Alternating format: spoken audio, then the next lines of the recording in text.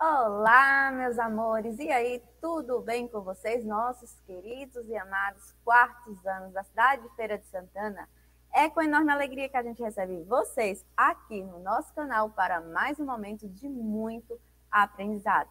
Eu sou a professora Mirth e nós teremos aula de Ciências Humanas. Vamos à aula?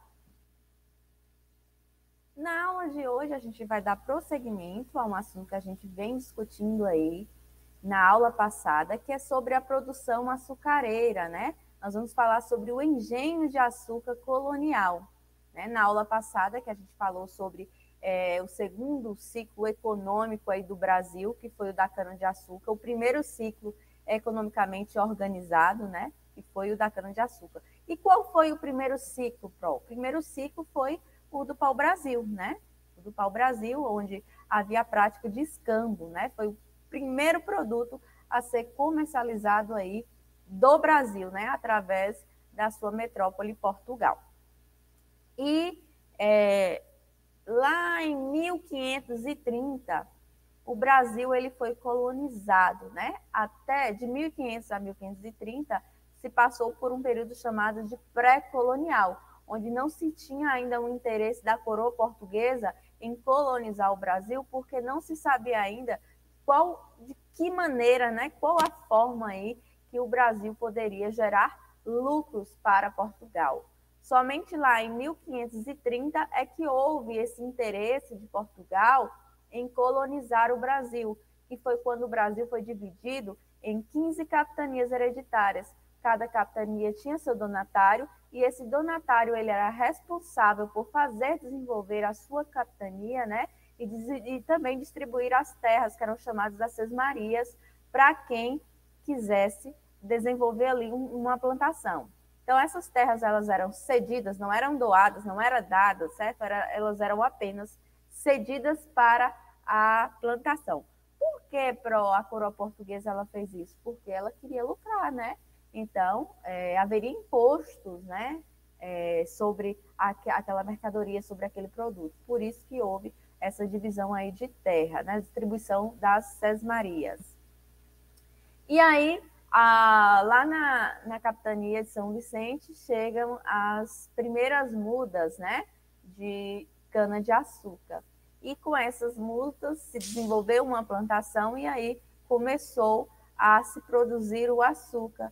E Portugal, então, ganha aí um monopólio, né? Na produção de açúcar. É, quando a gente fala assim, havia um monopólio, né? É porque quem controlava, aí, no caso, o comércio aí de açúcar no, no exterior, já que esse produto era um produto muito caro, que gerava altos lucros aí para a coroa portuguesa, era Portugal, certo? E aí, como é que viviam os senhores de engenho? Na aula passada, nós falamos como é que era dividida a sociedade. Se tratava de uma sociedade patriarcal, por quê? porque o senhor de engenho, ele era dono de tudo, né? Além dele ser dono dos canaviais, dono dos escravos, ele era dono da sua mulher, ele era dono dos seus filhos, ele era dono de tudo. Então ele era o chefão, ele era poderoso ali, né? Por isso que a gente diz que era uma sociedade patriarcal. Mas como é que viviam esses senhores de engenho? Vamos ver agora? O Nil afirmava em 1711 que o senhor de engenho é título a que muitos aspiram, porque traz consigo o ser servido, obedecido de muitos. O jesuíta trata ainda da dependência que têm os lavradores dos senhores de engenho, do seu enriquecimento, crescimento da soberba e desprezo pela gente mais pobre. Embora o jesuíta tenha sido uma testemunha da sociedade açucareira, estudos recentes têm mostrado que a vida no engenho não era fácil o senhor e sua família alimentavam-se muito mal, abusavam dos doces, sofriam de inúmeras doenças.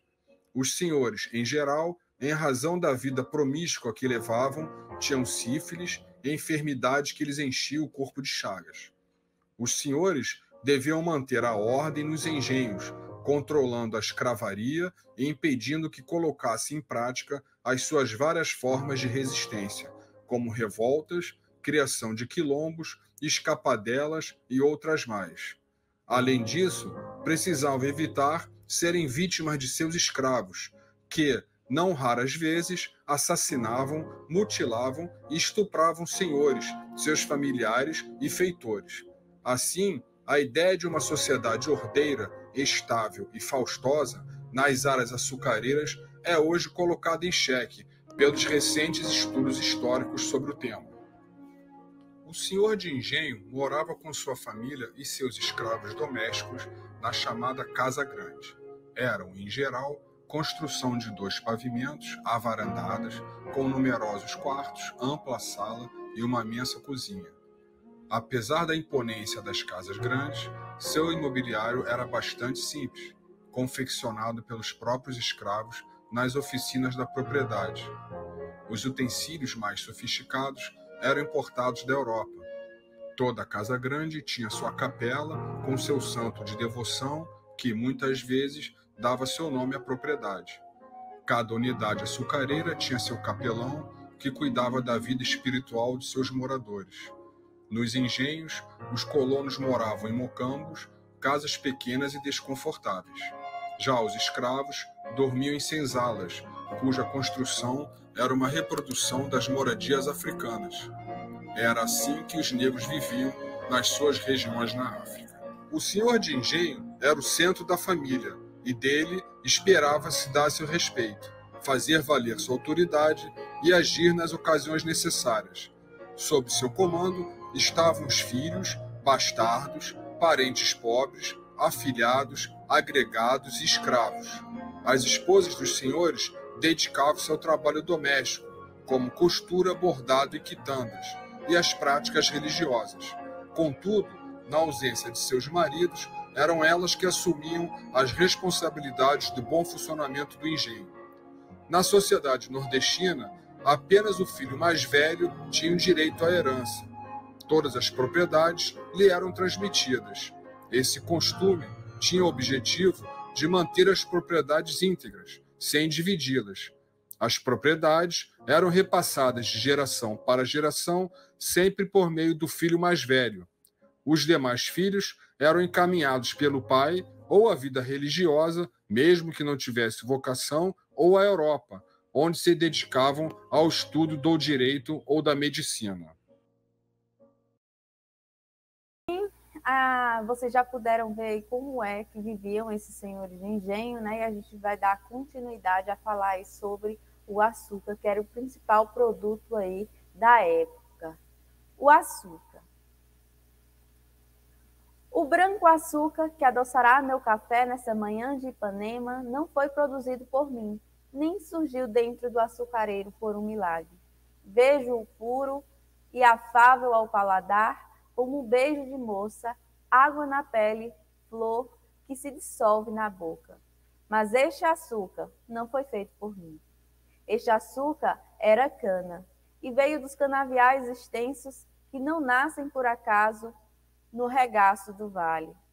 Em lugares distantes, onde não há hospital nem escola, homens que não sabem ler e morrem aos 27 anos plantaram e colheram a cana que viraria açúcar. Em usinas escuras, homens de vida amarga e dura produziram este açúcar branco e puro com que adoço meu café nessa manhã de Ipanema. Essa, essa é uma poesia aí de Goulart, né, onde vai falar sobre o açúcar. E, é, embora não se cite no próprio poema, mas se diz, né, que ele foi esse produto, ele era produzido em locais que eram bastante distantes, onde não havia hospital, onde não havia escola, onde os homens, é, na maioria, não sabiam ler e morriam muito jovens, né? Isso porque de quem se está falando isso aí? Dos escravos, né? Que eram eles que faziam essas plantações na época, era eles que retiravam essa cana para que fosse levada à casa da moenda e assim pudessem, né, fabricar aí o açúcar a partir da cana de açúcar. Esses homens que eles eram explorados de tal forma, eles eram obrigados a realizarem esse tipo de atividade sem nenhum tipo de remuneração.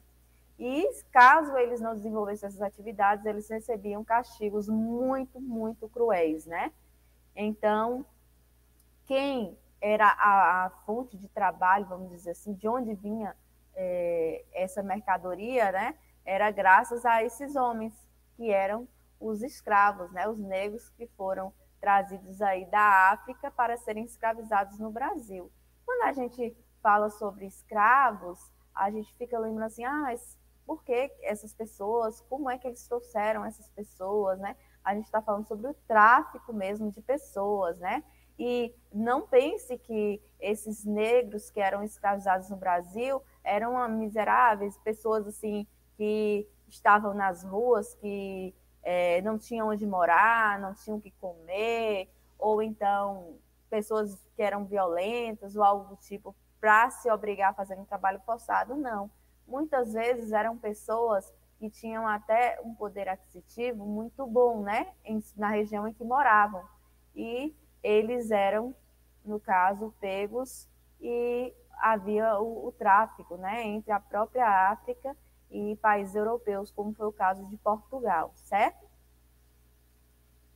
Como é que era produzido o açúcar aí no período colonial? Era através dos engenhos. E a gente já viu, né, como, como é que era esse engenho, como era organizado aí esse engenho. E hoje a gente vai reforçar um pouquinho aí mais para ver, para que vocês possam visualizar melhor como é que funcionavam esses engenhos. Relembrando que nós tínhamos uma sociedade patriarcal, onde esse senhor dos engenhos, do engenho, ele era dono de tudo, né? Era o pai da casa, vamos dizer assim, era dono dos escravos, era dono do, do próprio canavial, do engenho, né, em si, e era dono da sua mulher, era dono dos seus filhos, né? Então ele mandava em tudo, ele era um maioral ali. Por isso que a gente fala que a sociedade na época era uma sociedade patriarcal. Os trabalhadores na época se tinham os trabalhadores escravos, né, que era quem trabalhava aí nos canaviais, na Casa da Moenda, e tínhamos os trabalhadores livres, como, por exemplo, os pescadores, né? Os, as pessoas que trabalhavam aí é, nos carros de boi, eram trabalhadores livres. Quando foi que iniciou o ciclo de açúcar?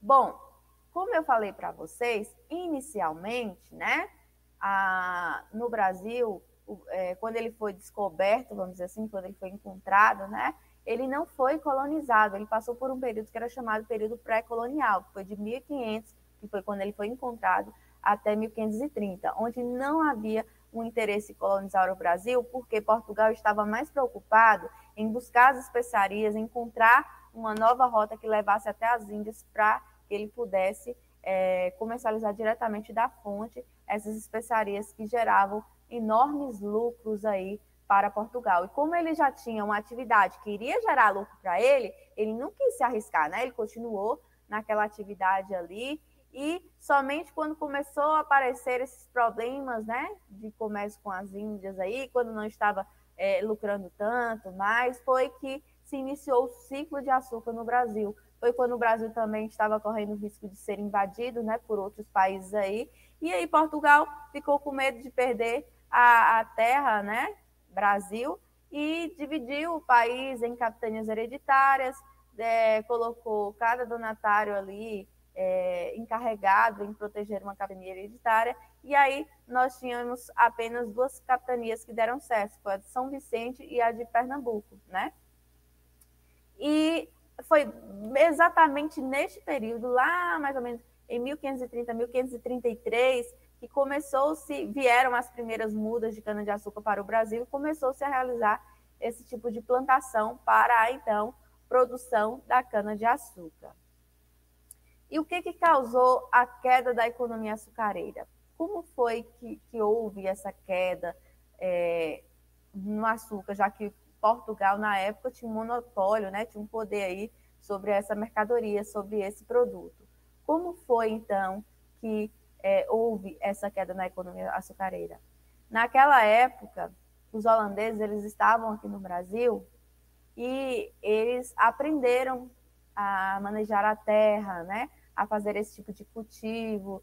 E Portugal, né, que estava aí com medo é, dessa invasão holandesa deles aqui dentro do Brasil, expulsou os holandeses daqui. E quando é, Portugal expulsou os holandeses daqui, eles começaram a produzir lá, no, no país deles, né? A cana-de-açúcar e também, né, produzir açúcar a partir desse produto.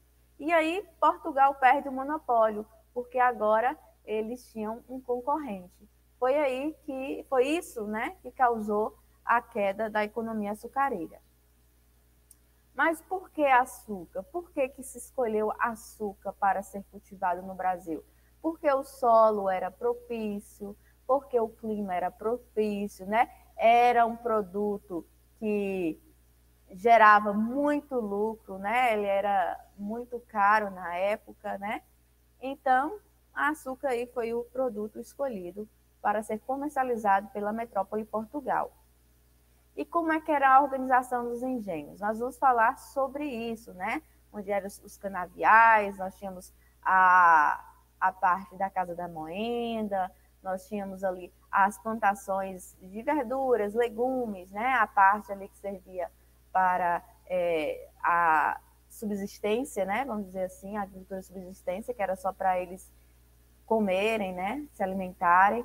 E tínhamos as senzalas, que era onde ficavam os negros, e a Casa Grande, que, é, que era onde ficava aí os senhores de engenho. Aqui nós temos como era organizado, né, a senzala, onde ficavam os negros ao fundo, aqui na frente a Casa Grande, a Casa da Moenda, onde a, a cana era moída, né, e produzida aqui o açúcar. E aqui nós temos as roças, né, que era onde estavam verduras, legumes, para que eles pudessem se alimentar. E aqui, logo no fundo, é, temos os canaviais. A Casa Grande era a sede das fazendas que abrigava o senhor de engenho, sua família, seus agregados, os hóspedes. A disposição dos ambientes internos é uma sequência de compartimentos, quartos ou alcovas ligados por um corredor e contando normalmente com uma varanda. Aí tinha a casa de engenho, né, que era lá a casa da moenda. A casa de engenho abrigava todas as instalações destinadas ao preparo do açúcar, a moenda, onde se moía a cana para a extração do caldo, que era a garapa, as fornalhas, onde o caldo de cana era fervido e purificado em tachos de cobre, a casa de purgar, onde o açúcar era branqueado, separando-se o açúcar mascavo, que, era, que é aquele açúcar mais escuro, é, do açúcar de melhor qualidade e depois posto para secar. Quando toda essa operação terminava, o produto era pesado e separado conforme a qualidade e colocado em caixas de até 50 arrobas. Só então era exportado para a Europa. Aí nós tínhamos as senzalas, que eram as construções onde ficavam os negros, né? Os escravos. As senzalas eram construções em um comprido telheiro feito de alvenaria de tijolos ou pau a pique, com celas medindo aproximadamente 3 metros de comprimento e largura, cobertas também com telhas ou palhas. As portas eram de tábuas de madeira, o piso era de terra batida. E geralmente, frente dessas senzalas, ficavam ali pessoas para poder vigiar os escravos ali, né? Tinha também a capela. A capela tinha, é, na capela tinha-se o costume de enterrar seus mortos, além de fazer também os cultos religiosos. E aqui a gente tem como funcionava um engenho, né? A senzala, onde ficavam os negros, a casa grande, onde ficava os senhores de engenho, né, com sua família, também com seus hóspedes, o canavial, que era onde se plantava lá a, a, o produto, né, a cana-de-açúcar, para que fosse utilizado aí na produção do açúcar, a capela, aí tínhamos os trabalhadores livres, né, que eram aqueles que trabalhavam é, com transporte, que eram os carros de bois, tinham os que trabalhavam pescando, que eram os trabalhadores livres. Aí tinha aqui o engenho, né, com a casa da, da moenda, a cozinha do açúcar, que era onde era fabricado aí o açúcar, para que ele fosse posteriormente aí colocado em caixas, né? E assim, como é que o açúcar era feito? Bom, vocês já viram aí como é que era organizado o engenho, né? Um engenho onde tinha a casa grande, onde nós tínhamos ali a senzala, os canaviais, é, onde nós tínhamos a capela, onde a gente tinha também é, a, a roça, né? Tudo isso aí fazia parte do engenho. E quem comandava tudo isso eram os senhores de engenhos, né? Que eram os donos, vamos dizer assim, daquelas terras. Naquela época, o Brasil ele era um país rural. É, se, não se tinha cidades ainda, se tinha essas fazendas, né? Que eram produtoras aí de açúcar. E nem, nem Portugal tinha interesse de criar vilas, de criar cidades, até o momento em que se precisou é, montar um lugar com maior estrutura para que esses produtos eles pudessem ser armazenados e também enviados aí para Portugal. E aí vocês vão ver é, mais para frente que a, o surgimento das vilas, o surgimento das cidades, ela surgiu mais no período do ouro, né, que foi quando houve aí a queda da cana-de-açúcar e que o Brasil ele começou a ser é, as, a, os portugueses né, começaram a adentrar o Brasil adentro aí e aí interiorizar o país, né? Foi aí que começou-se a criar essas cidades, essas vilas, uma vez que com a produção do ouro, né, é, essas pessoas que trabalhavam lá precisavam se alimentar e aí começaram a surgir os comércios, tinha que se que criar vias, né, é, estradas aí para que se levasse essa mercadoria e assim foi surgindo as vilas. Mas isso aí é algo que a gente vai estudar mais para frente. Falando sobre a, o açúcar, né? Como é que esse açúcar era feito? Na aula passada, eu apresentei para vocês um pequeno vídeo onde se mostrava, e hoje eu vou mostrar novamente para vocês, porém um vídeo mais simples, né? Mais rápido aí, como é que acontecia a produção açucareira, como é que acontecia a produção da cana-de-açúcar, né? É do açúcar, aliás, utilizando aí a cana-de-açúcar. A cana-de-açúcar era o produto, a, é, a, a matéria-prima, vamos dizer assim, para a produção desse produto cana-de-açúcar. Vamos ver como é que isso acontecia? Entre os séculos XVI e XVIII, a produção de açúcar foi a maior riqueza da economia do Brasil colonial. O processo de produção açucareira era complexo e envolvia muitas etapas. A mão de obra escrava era a mais utilizada nos trabalhos. Inicialmente derrubava-se a mata e o terreno era limpo. Em seguida eram abertas covas onde se fazia o plantio das mudas de cana. Quase um ano depois, a cana crescida era cortada e transportada em barcas ou em carros de boi até as moendas. Nas moendas, grandes cilindros de madeira movidos por força animal ou hidráulica moíam a cana para extrair o caldo. Sob a supervisão do mestre de açúcar, o caldo era cozido durante horas, até virar um melaço. Ao atingir o ponto certo, o melaço era colocado em formas de barro e as impurezas eram retiradas. O melaço ficava nessas formas até se separar em diferentes tipos de açúcar.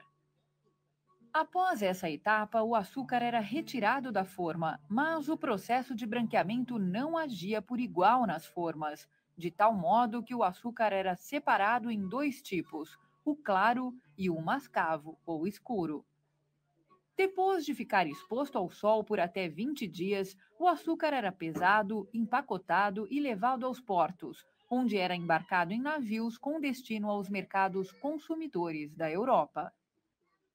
Bom, gente, vocês viram aí como é que é produzido, né? Era produzido o açúcar, né? Naquele período, né? No período colonial, período em que o açúcar era o principal produto aí é, econômico de Portugal, né? Antes da queda aí, é esse produto que era produzido a partir da mão escrava, né? Das mãos escravos. Os escravos eram quem desenvolver essa atividade. Eram quem plantavam, eram quem retiravam essa cana-de-açúcar e eram quem fabricavam aí o açúcar a partir dessa matéria-prima, né?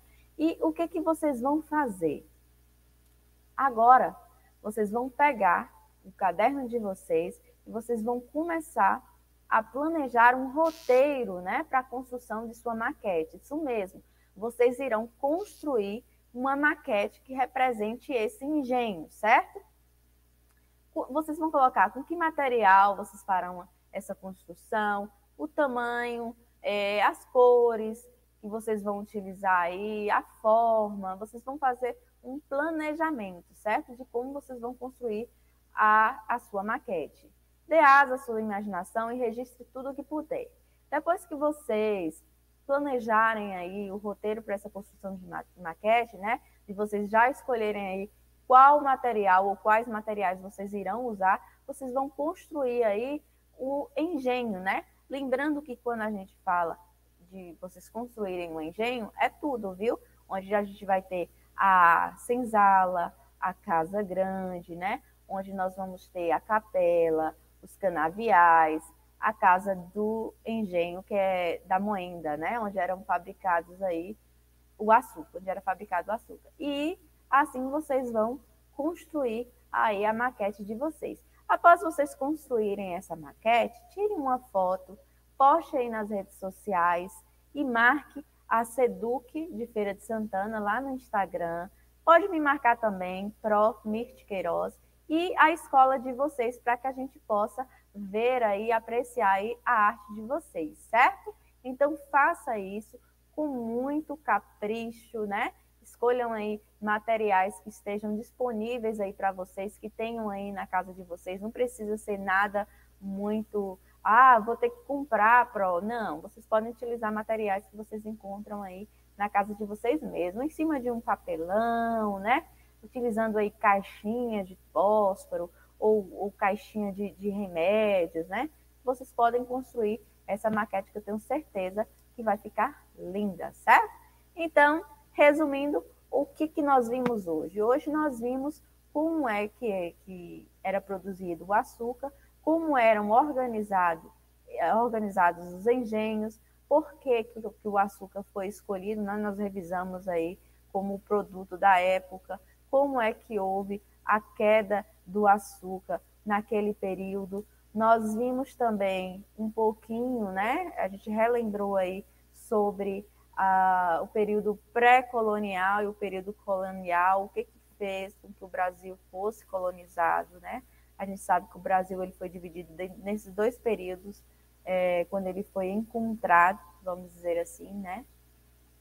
E nas aulas que vem, que a gente vai ter aí sobre ciências humanas, a gente vai falar sobre o terceiro ciclo de atividade econômica do Brasil e o segundo ciclo organizado, né? Porque a gente fala terceiro ciclo porque nós já tivemos é, o pau-brasil, a extração, né? A exploração aí do pau-brasil, que era feito através da prática de escambo, porém não era feito de forma organizada.